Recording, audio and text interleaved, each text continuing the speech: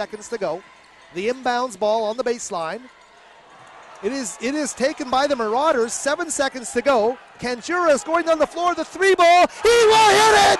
3.3 seconds left in the game, and he knocks down the huge triple to tie this game at 61. That takes me back to the call in the championship final game. Terry Fox beating Walnut Grove. That was a massive shot by Alejandro Kanjura. Pitt Meadows has new life. They tie this game at 61 with three seconds left in the game. A half court three to tie it by Kanjura.